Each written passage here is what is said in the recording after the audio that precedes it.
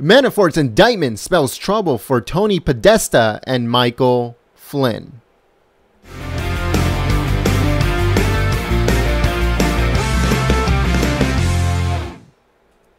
Hello, folks. My name is Jenna from Golden State Times, and today we have a special report. This one comes courtesy of GoldenStateTimes.com. And it says experts say special counsel Robert Mueller's use of Foreign Agents Registration Act against former Trump campaign manager Paul Manafort should worry others reported to have skirted the law's disclosure rules.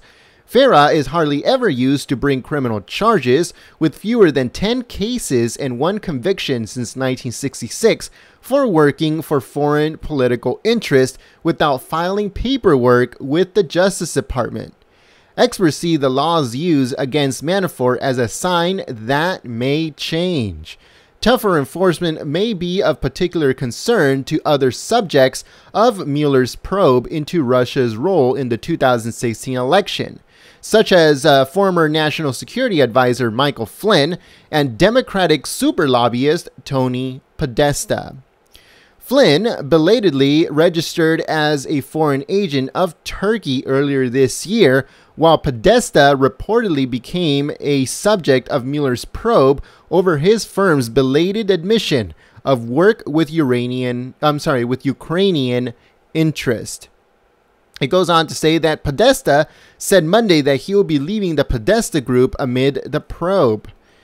It goes on to say that Manafort's receipt of millions of dollars from pro Russia interest in Ukraine is central to his indictment Friday by a grand jury. The charges were made public Monday, with Manafort and co defendant Rick Gates alleged to have laundered the money to avoid paying U.S. taxes. Attorney Joshua Rosenstein, an expert on the matter, said, quote, In my view, it would be unlikely for similarly high profile matters to be ignored by the DOJ for much longer. He went on to say, quote, I would imagine that this would lead to more aggressive enforcement across the board, including against Mr. Flynn, Mr. Podesta, and Russian controlled media outlets if the facts bear the charges. So yeah, folks, it looks like uh, both Michael Flynn and Tony Podesta, which is actually uh, Podesta's brother, uh, they're in big trouble, folks. It looks like they're next on the chopping block, but we just have to see what's going to happen.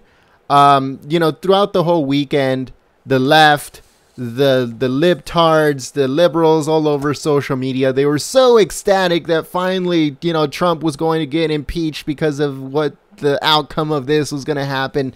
They were so happy, and all, all, throughout the weekend, you know, going on social media, I would see, oh yeah, this is the end of Trump, and Trump did this, and Trump did that, and you know, all this stuff, and it turned out to be Monday, and nothing happened. so that's that's basically how it ended up, and it's I find that so hilarious.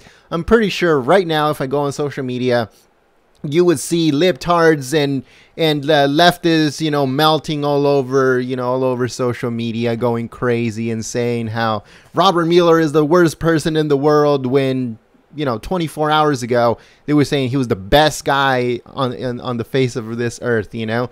But let us know what you guys think in the comments section below. Will podesta tony podesta be indicted? And when do you think this Mueller investigation is going to end? Let us know in the comments section below.